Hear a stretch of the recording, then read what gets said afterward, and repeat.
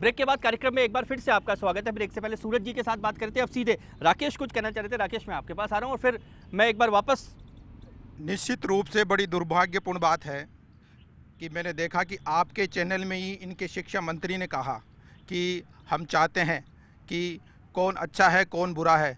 जब भी भारतीय जनता पार्टी की सरकार बनती है तो ये दिखाया जाता है जानबूझ के कि अकबर महान थे या महाराणा प्रताप महान थे। चर्चा का विषय ये होना नहीं चाहिए कि कौन महान थे। जब भी इनकी सरकार बनती है तो सूर्य नमस्कार करवाना चाहिए, योग करवाना चाहिए। आखिर ऐसे मुद्दों पर हमें ये सोचना चाहिए कि आखिर देश क्या चाहता है, इस देश की जनता क्या चाहती है। इसके लिए कमेटियाँ बननी चाहिए और जो भी तमाम पूरे प्रदेश के, देश के जो शिक्षाविद हैं, उनसे राय लेनी चाहिए कि इस देश को पढ़ाई जाने वाली पाठ्य सामग्री क्या होनी चाहिए। निश्चित रूप से ऐसे जो विरोधाभास है, उनको हम दूर कर सकते हैं। करमवीर जी, आपके पास इसलिए लौट रहा हूँ कि बहुत सारी चर्चा हुई है। मैं एक सामान्य सा जो शायद आम व्यक्ति के मन में सवाल हो, जो हमारे दर्शक के मन में हो, आखिर इतिहास ज़रूरी क्यों है? अगर नहीं पढ़ेंगे तो क्या विपदा आन पड़ेगी? जी विपदा तो नहीं आन पड़ेगी, लेकिन फादर ऑफ़ हिस्ट्री जिन्हें कहा जाता है हेरोडोटस हेरोडोटस ने जो एक जो पुस्तक लिखी थी, वो इसलिए लिखा गया था कि जो यूनानी राज्य थे और पर्शिया, उनके बीच में युद्ध होता रहता था और बार बार ये यूनानी राज्य पराजित होते थे पर्शिया से। तब उन्होंने इतिहास लिखा कि ये पराजय के कारण क्या है? उन्होंने अपनी कमजोरियाँ लिखी उसमें कि बार बार हमारी पराजय होने के कारण क्या है, ताकि आगे जो युद्ध होगा, उसमें हम इन कमजोरियों को दूर कर सके। सो, इतिहास का जो उद्देश्य है, वो यही है कि फ्यूचर के लिए एक डायरेक्शन मिल सके, दोबारा इन गलतियों को दोहराया नहीं जा सके और इतिहास इवन जो डॉक्टर के पास जाएँगे तो वो भी सबसे पहले रोगी का इतिहास पूछता है कि आपका जो हिस्ट्री क्या रहा है पहले क्या बीमारी हुई थी आपको। सो so, हिस्ट्री इसलिए भी ज़रूरी है और इतिहास है वो नैतिक शिक्षा नहीं है कि ये महान है कि ये महान नहीं है। महान इतिहास नहीं पता इतिहास का काम यही है कि वह व्यक्ति वह घटना जिसने समाज की धारा को गंभीर रूप से परिवर्तित किया हो उसमें बदलाव लाया हो उनको उस इतिहास में जगह दी जाती है। जहाँ तक बात है महाराणा प्रताप की और अकबर की इसमें कोई डाउट नहीं है कि अकबर का जो एक चरित्र था, वो समावेशी चरित्र था। धर्मनिरपेक्ष थे अकबर। शुरुआती दौर में ज़रूर उनकी एक जो पॉलिसी है, वो एक धार्मिक संकीर्णता देखने को मिली। लेकिन आम प्रजा के साथ जो उनका एक एक कांटेक्ट था, इसी वजह से उन्होंने तीर्थ यात्रा कर हटाना, जजिया हटाना, क्योंकि मथुरा में जब घूमने गए तो लोगों ने कहा कि ये राजा हमारा नहीं है। ये तो मुसलमानों का राजा है, क्योंकि हम तो मथुरा जाते हैं, हरिद्वार जाते हैं, लोग तो तीर्थ यात्रा के ऊपर टैक्स लगता है। अकबर ने कहा, इसको ख़त्म करो। अकबर के ज़माने के एक मुल्ला थे। उन्होंने बदायूं बदायूनी बदायूनी ने लिखा कि अकबर अब मुसलमान है ही नहीं, वो तो काफिर बन गया है। सो दूसरा, अकबर ने जो राजपूत, उनकी रानियाँ थी, उनको पूरी स्वतंत्रता मिली हुई थी। क्या एक मुसलमान से ये उम्मीद कर सकते हैं या आ सकते क्योंकि उनके धर्म में अलाउ नहीं है कि उनके घर में मंदिर बना हुआ है पूजा पाठ हो रही है, दुर्गा जी की कृष्ण की पूजा हो रही है। अकबर ने इनको पूरा अलाउ किया। होली दिवाली त्यौहार मनाए जाते थे। अकबर ने रिश्ते किए नहीं उनको निभाया भी। जब कोई मर जाता था तो उनके जाया करते थे सिर मुंडाया करते थे।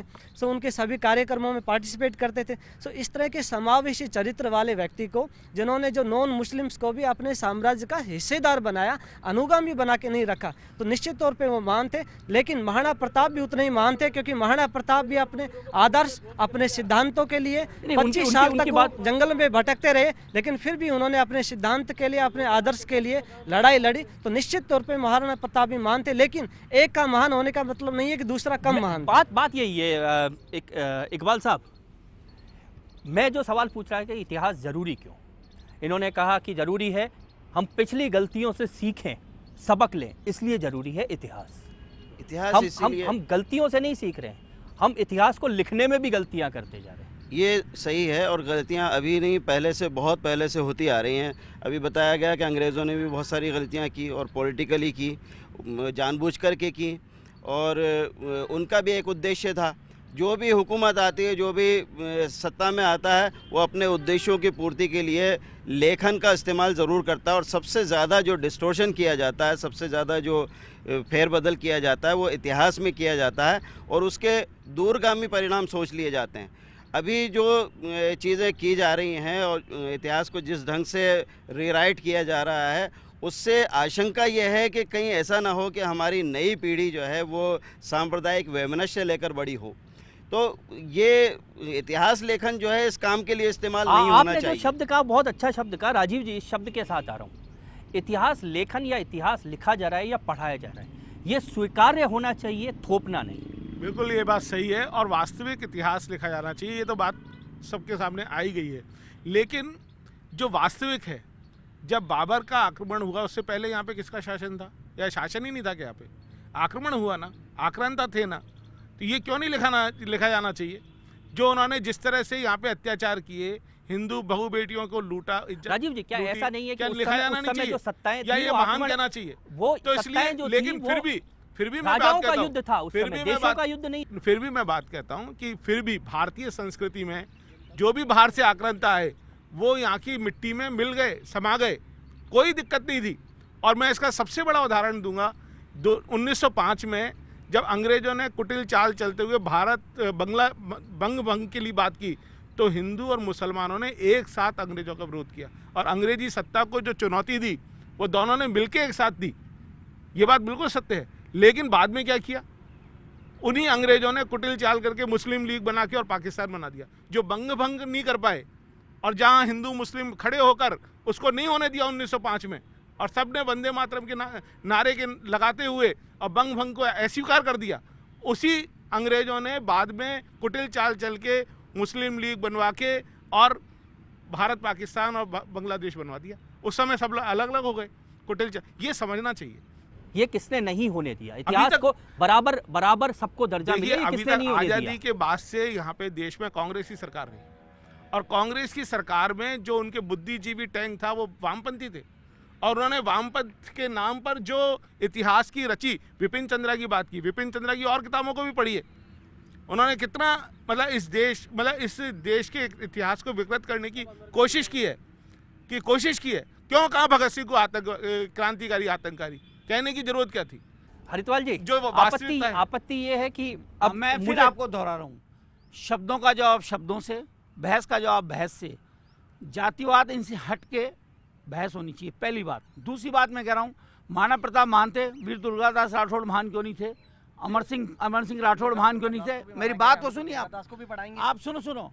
वो महान क्यों नहीं थे? जलिया वाला बड़ा रानी- जलियावाला बाग से बड़ा कांड राजस्थान में हुआ है। हाँ। गुरु गोविंद थे बांसवाड़ा में और बहुत हाँ, उससे हाँ, ज़्यादा लोग मरे थे लेकिन उस इतिहास को दबा दिया गया। पेड़ों के पेड़ों के लिए पेड़ों के लिए जोधपुर में हुआ पेड़ों के लिए जोधपुर में हुआ मैं आपको ये बताना चाहता हूँ कि पहली बात तो भारत के लिए नहीं लड़ रहे थे महाराणा प्रताप चित्तौड़ के नहीं लेकिन इतने सालों में ये इतिहास क्यों नहीं लिखा गया? लिखना जी सवाल यही है। किया। ये आप भी कह रहे हो कि कांग्रेस रही सततंत्र से अस्सी तक कांग्रेस सरकार नहीं थी। तीन बार देश के प्रधानमंत्री अटल बिहारी वाजपेयी रह गए। दो साल अजी तीन बार रह गए ना छह साल रहे छह साल कम नहीं होते। लिखने के लिए तो एक एक एक घंटा चाहिए लिखने के लिए क्या चाहिए? और उस वक्त इन्होंने विदेश मंत्री थे। अड़तालीस चालीस साल लिखा है आपने आप साल में नहीं लिख एक बात सुनिए। एक बात सुनिए मेरे को। हमने कितना लिखा? एक कागज़ एक इतिहास लिखा है सौ पन्नों का दस हज़ार पन्नों का एक करोड़ पन्नों का जो भी लिखा है बीस पन्ने तो लिख देते अच्छे वो लिख रहे अभी तो आपत्ति इसलिए इसलिए इसलिए लिख रहे कि आज पाँच आदमी एक पार्टी में बैठ के स्वीकारी हो सकते हैं लेकिन जनता के मानस पटल पे भी वो बात होनी चाहिए। मैं कह रहा हूँ आपके पटवारी जो परीक्षा देते हैं तथ्यों तथ्यों के आधार हाँ। पर इतिहास लिखने के लिए कोई कमीशन कमीशन होना चाहिए। आज तक क्यों नहीं बना? इतने साल आपकी सरकार रही आठ दस साल आपके भी जोड़ तो दूँगा इतिहास राजीव से जी कोई तकलीफ़ नहीं है ना ज़्यादा। हमें इतिहास से तकलीफ़ नहीं है ज़्यादा। अच्छा क्योंकि वो तो आपका ही था। नहीं इतिहास हमारा नहीं है। वो सही इतिहास है। वो सही इतिहास है। अब आप वामपंथ कह दो हम कहते हैं भगवा कहते हैं। अच्छा एक बताओ विवेकानंद जी को हमारे कांग्रेस पार्टी के थे क्या उनके लिए कभी गलत बात नहीं लिखी किसी ने? क्यों नहीं लिखी? वोट नहीं नहीं नहीं नहीं गलत बात ओछी बात नहीं करनी चाहिए किसी की विवेकानंद जी छोटी उम्र में रहे। नहीं नहीं वो दिक्कत वो है अकबर को वो भी मान नहीं मान रहे। क्या नेताजी सुभाष चंद्र उन्नीस सौ। उन्नीस सौ पहले कभी आपको गरीब भी याद नहीं आया मैं इतिहास में भी थोड़ा बहुत जानता हूँ। गरीब हटाओ पहली बार उन्नीस सौ अस्सी तो में आया। वो एक नारा था। गरीबी हटाओ। इनका भी एक नारा ही है। मेरे को भी लगता है। क्या नारा है? देखिए मैं दिक्कत ये है कि मैं इतिहास जानना चाहता हूँ। मैं इस नारों से दुखी हूँ। नहीं नहीं मैं जुमलों से दुखी हूँ। इतिहास जानना चाहते हैं। इतिहास पढ़ें। इतिहास पढ़ के जयपुर का इतिहास पढ़ें। फिर राजस्थान का इतिहास पढ़ें। आपका आपको आपको रोकता हूँ पीछे चलता हूँ कुछ नए लोग हैं हाथ खड़े कर रहे थे उनके पास जी। खड़े होकर अपनी बात कहिए। एक छात्र होने के नाते मेरे मन में कई बार सवाल आता है कि जिस तरह का इतिहास हम सुनते हैं या पढ़ते हैं अक्सर वो सही है या गलत है? इसका फैसला करने से पहले मैं एक बात जोड़ना चाहूँगा यहाँ पे।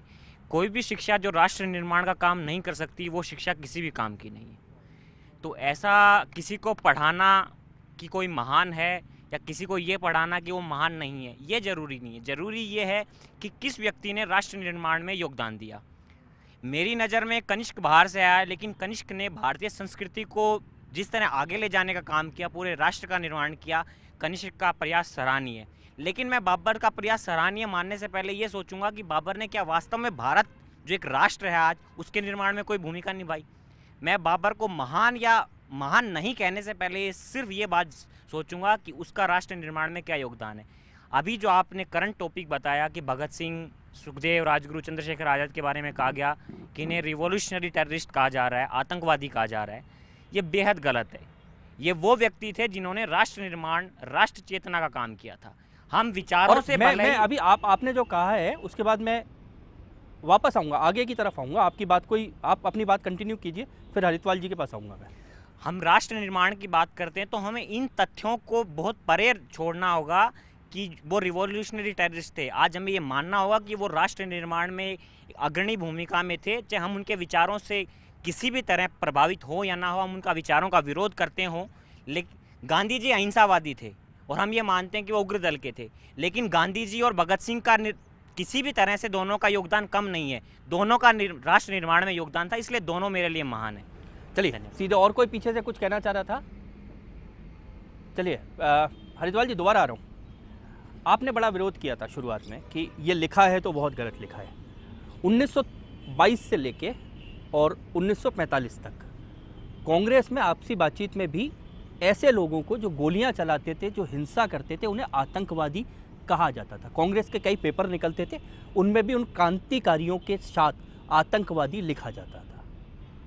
मैं आपको एक बताना चाहता हूँ जैसा पीछे जिस- जिसे- पीछे जिसे- वाले जो हाँ। शर्मा जी ने लड़के ने बहुत अच्छी बात कही कि जिसका राष्ट्र निर्माण में हो उनको महान कहना चाहिए मैं पूछना चाहता हूँ सबसे शेरशाह सूरी ने आज से कई सौ वर्ष पहले ये कहा कि भाई दीवार पेड़ लगने चाहिए पानी की व्यवस्था होनी चाहिए राष्ट्र निर्माण के साथ साथ सामाजिक निर्माण और जगह सृष्टि निर्माण की बात करी उनको किसी ने महान नहीं कहा ये भी बड़ा ही नहीं करते। वल्लभ भाई पटेल की करेंगे। रोड तो औरंगज़ेब रोड भी है। औरंगज़ेब रोड भी है। मैं आपको ये कह रहा हूँ इसमें कुछ नहीं होना चाहिए इसके अंदर ही होना चाहिए। अब ये जयपुर के इतिहास से मिर्ज़ा इस्माइल को भी हटा देंगे। बताओ। मैंने बिल्कुल नहीं हटाया नहीं नहीं। क्यों? मिर्ज़ा इस्माइल के लिए कहा था कि अच्छो लायो मैसूरी ऊँट और रामनियास बाग की चरग्यो चारू कूट। बाग विध्वंस कर डाला। ये कवि ने कहा था शायद ध्यान इकबाल साहब को ध्यान हो ये बात भी कही गई उनके लिए।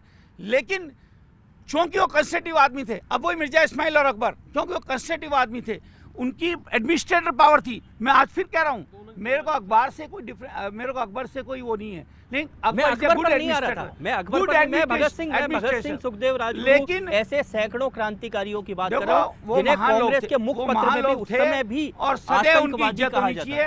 और कांग्रेस ने कभी भी मैं बीस एक साल से कांग्रेस में हूँ कभी भी भगत सिंह और इनको कभी किसी ने गलत नहीं कहा। आज़ादी के बाद की बात नहीं कर रहा। अगर किसी ने शब्दों का प्रयोग करा है इतिहास के अंदर तो उनको ठीक कर देना चाहिए इसमें कोई किसी को विवाद नहीं चाहिए। राजीव जी ठीक कर देना चाहिए लेकिन इतिहास इतिहास इसलिए ज़रूरी है कि नई पीढ़ी का निर्माण होगा और उस पीढ़ी का जिसे हम मज़बूत पीढ़ी बनाना चाहते हैं। लेकिन दिक्कत यह है कि फिर हम इतिहास के निर्माण में जाएँगे तो राजनीतिक हस्तक्षेप। नहीं मैं आपने एक जो बीच में बात आई थी जो वास्तविकता है, तथ्यों से संग है, जो तथ्य हैं वास्तव में, उसके लेके इतिहास की रचना करनी चाहिए। और इतिहास ऐसा होना चाहिए, जो हमने गलतियाँ, करमवीर जी ने कहा, जो गलतियाँ की हमने, ऐतिहासिक भूल के कारण भारत पे आक्रमण हुए, अंग्रेज़ आए, जो भी गुलाम हुए हम लोग, वो दोबारा नहीं हो, वो कब होगा? जब हम अपने महापुरुषों को सही ढंग से पढ़ाएँगे, उनको सही ढंग से स्थान देंगे तो अभी पढ़ने वाले युवक उनके मन में प्रेरणा आएगी उनके मन में एक गौर, गौरव का भान होगा कि हमारे पुरखे ऐसे थे। मैं मैं और इसलिए इतिहास एक स्वतंत्र कमीशन के माध्यम से बनाना चाहिए राजीव जी हूँ आपके पास।